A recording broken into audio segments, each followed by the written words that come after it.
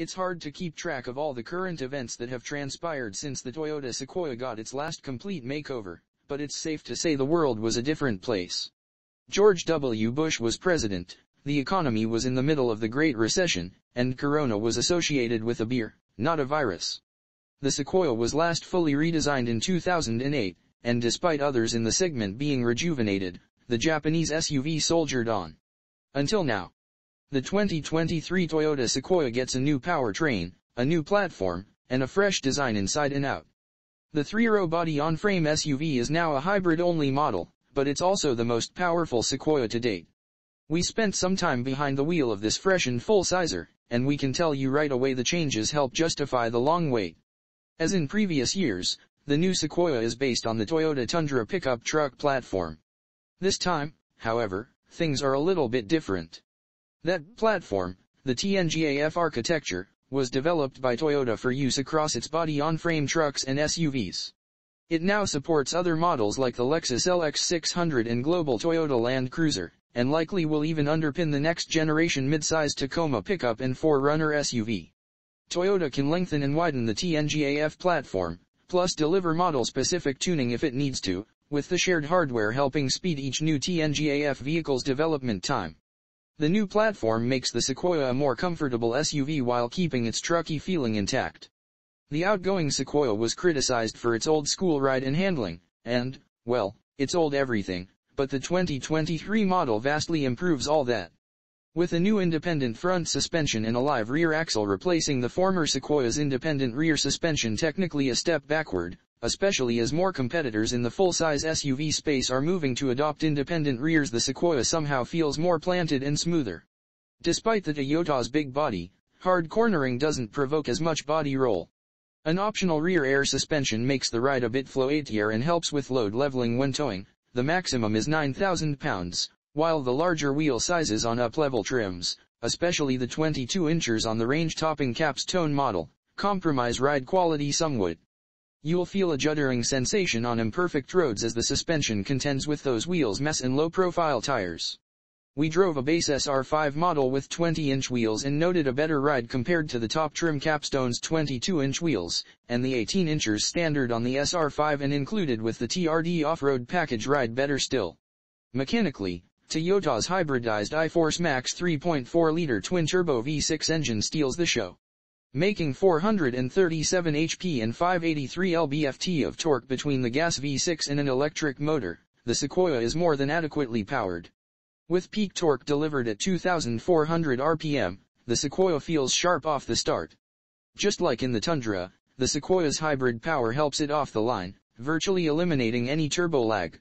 More impressively, the Sequoia doesn't really need more power despite having a big mass to move, the engine does its job to deliver strong and smooth acceleration. The 10-speed automatic plays along just fine, shifting fluidly and holding gears when needed. All those changes hugely improve the Sequoia experience from the driver's seat, although not hugely. While the ride is comfortable and settled for the most part, the body still gently bobs during directional transitions and when you come to a stop. Also, the steering feels a bit vague and doesn't deliver as much feedback as we'd like, even if most drivers will probably be pleased with its soft feel and effortless weight. These behaviors won't feel out of place to anyone familiar with the current Tacoma or 4Runner, let alone the new Lexus LX. Another improvement we'd like to see is in the ambient noise department. Toyota says the capstone trim is equipped with an acoustic windshield in front windows, but we still heard a decent amount of wind and tire noise in every trim level we sampled, with a lot of the whooshing emanating from the door mirrors. While fuel economy figures have not been released, Toyota says the hybrid Tundra's figures are a pretty good preview. That would mean something like 20 and 22 mpg combined for regular Sequoias, depending on their drive configuration, a huge step up from the previous Sequoia's 14 to 15 mpg combined. Sure enough, during our drive, the Sequoia's trip computer displayed 20 mpg after our 50-mile drive in the Platinum 4X4 model. Though we suspect the off-road focused TRD Pro model we have a full first drive review of it here and its less aerodynamic body addenda and 33-inch all-terrain tires will hold that efficiency back somewhat. Of course, the TRD Pro is just the most extreme example of the big benefit of a 3-row Sequoia over a 3-row Highlander, off-road chops. Part-time four-wheel drive with low-range gearing is available in every grade, and standard on the TRD Pro, and the SR5 and limited trims optional TRD off-road package, a first for Sequoia, goes a step further with a locking rear differential, multi-terrain select, which helps with traction depending on the type of terrain, and crawl control. The TRD off-road package also comes with Bilstein monotube shocks and TRD springs that soften the ride on road while improving suspension articulation to boost capability off-road. The four-wheel drive only TRD Pro goes all in on off-road gear and adventurous style, but you'll pay for that. Pricing starts at $78,395, just behind the range-topping 4x4 Capstone model. This is the most off-road capable Sequoia, and comes with Fox shocks with internal bypass valving, a front skid plate, a TRD Pro exhaust tip, and unique 18-inch black wheels with 33-inch all-terrain tires to handle rugged terrain. A locking rear differential is included here, too, along with a smattering of TRD interior bits and bold Toyota lettering on the dashboard and grille. Like the Tundra, the Sequoia benefits from a new cabin experience, and it comes well equipped from the start. Each of the five available trims SR5, Limited, Platinum, TRD Pro, and Capstone receive unique cabin touches. We were quite impressed with the base trim SR5, which has heated front seats, 3-zone automatic climate control, and an 8.0-inch infotainment screen with Toyota's newest infotainment system compatible with wireless Apple CarPlay and Android Auto.